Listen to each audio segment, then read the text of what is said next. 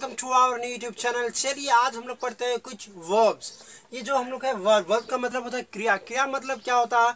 वो सब जो ना से समाप्त हो और उससे कुछ हरकत पता चले, जैसे कि खेलना, कूदना, डांटना, पीटना, ये सब क्या है वर्ब तो टेंस में टोटली आता है सिर्फ़ वर्ब का ही कहानी. जितना ज़्यादा वर्ब आपको पता है, आप उतने ही ज़्यादा सेंटेंस अच्छे अच्छे तरह से बना पाएँगे. चलिए, कुछ वर्ब्स देखते हैं.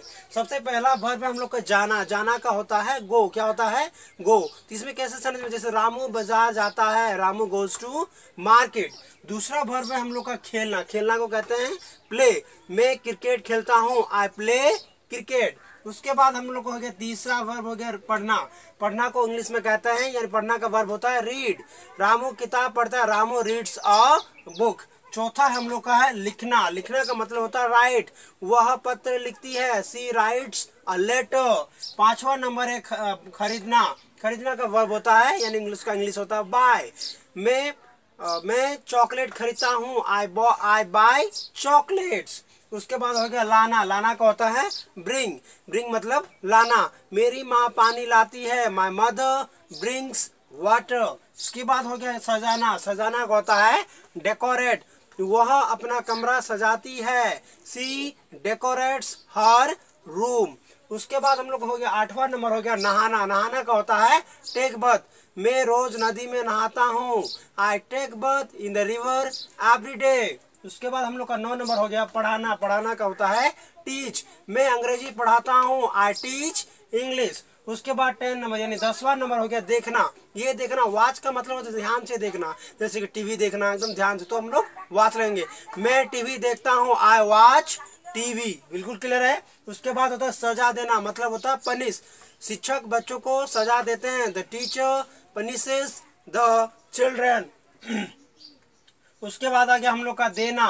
देना का होता है गिव आप मुझे चॉकलेट देते हैं यू गिव मी चॉकलेट उसके बाद हो गया लेना। लेना का होता है टेक रामू मुझसे पैसा लेता Ramu takes money from me उसके बाद हो गया खाना खाना कहता होता है ईट मैं खाना खाता हूँ आई ईट फ़ूड उसके बाद हो गया धोना धोना का होता है वाश मेरी माँ बर्तन धोती है माई मदर वाशेस पॉट्स तो बिल्कुल क्लियर है, इस तरह से कुछ वर्ब से पंद्रह वर्ब है टोटली तो हम लोग देख ले कि वर्ब किस तरह से देखिए, सबसे इंपॉर्टेंट बात होता है कि प्रैक्टिस आप कुछ भी चीज़ कर, चीज़ कीजिए बट अगर आप प्रैक्टिस नहीं करें तो सारा चीज़ बेकार मतलब नॉलेज अकेला कुछ, आप कोई भी फ़ील्ड में आपको बहुत नॉलेज है बट आप प्रैक्टिस नहीं करते तो क्या होगा? भूल जाएँगे सब कुछ। तो सबसे इंपॉर्टेंट चीज़ है, चाहे जो भी चीज़ हो, हम लोग उसी करके सीखें।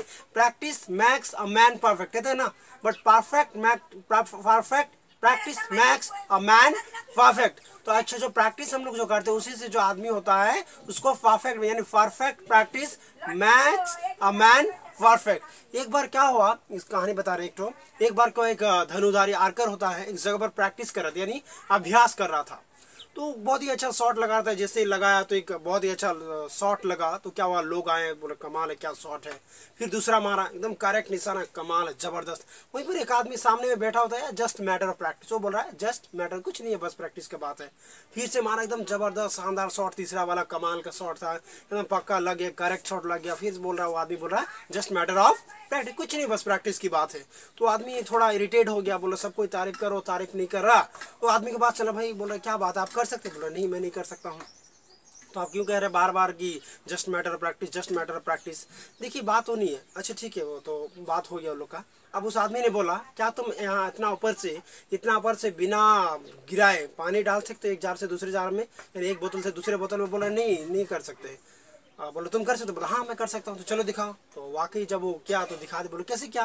बोलो, मैं जहाँ पर काम करता था ना तो वहाँ पर मेरा क्या काम था? तेल आता था तो तेल को इस जार से, उस जार मेरा भरने का काम था। तो मैं करते रहता पंद्रह बीस साल से मैं कर रहा था। इससे करके मुझे ये चीज़ आ गया। तो देखिए, सबसे इंपॉर्टेंट बात आता है, चाहे जो भी कीजिए, जो भी चूज़ चीज़ कीजिए, सबसे बड़ी बात होता है प्रैक्टिस यानी practice makes a man perfect perfect practice makes a man perfect तो प्रैक्टिस सबसे इंपॉर्टेंट है, जैसे कल हम लोग सिंपल प्रेजेंट टेंस पढ़े, और अगर आप लोग प्रैक्टिस नहीं करेंगे, इस तरह से वर्ब लेके उसको प्रैक्टिस करना होगा, बोलना होगा, लिखना होगा बार बार माइंड में। और इंग्लिश में सबसे इंपॉर्टेंट है उसका थॉट प्रोसेस जब तक थॉट प्रोसेस इंग्लिश में नहीं होगा, हम लोग इंग्लिश में सोचेंगे कैसे? जब हम लोग हिंदी में बात करें तो क्या करें? हिंदी में ही सोच रहे हैं। लेकिन जब हम लोग इंग्लिश में बात करें, तब हिंदी को हम लोग ट्रांसलेट कर रहे हैं, उसके बाद बात करें। अगर वही चीज़ अगर हम लोग को इंग्लिश में आ गया थॉट प्रोसेस तो हम लोग का इंग्लिश ऑटोमेटिकली फ्लुएंटली हो जाएगा, और फाटेदार हो जाएगा। तो सबसे इंपॉर्टेंट है कि थॉट प्रोसेस को इंग्लिश में करना, अगर थॉट प्रोसेस इंग्लिश में हो, या तो इंग्लिश तो ऑटोमेटिकली आ गया। जैसे कि अभी हर वक्त सिर्फ़ इंग्लिश में, मैं बाज़ार जाऊँगा, जो भी है I will go to market मैं खाना खाता हूँ आई ईट फ़ूड इस तरह से माइंड में तुरंत तुरंत आएगा तो ऑटोमेटिकली हम लोग इंग्लिश फराटेदार हो जाएगा हम लोग कॉन्फिडेंस के साथ जैसे हिंदी बोलते उस तरह से हम लोग इंग्लिश भी बोल पाएँगे। अगर आप वाकई इंटरेस्टेड रखते हैं कि आप घर बैठे अपना इंग्लिश इंप्रूव करना चाहते हो तो please subscribe our channel for more amazing videos to improve your English with us. So thanks for watching our videos. Just keep on watching our videos at home without any cost. Thank you.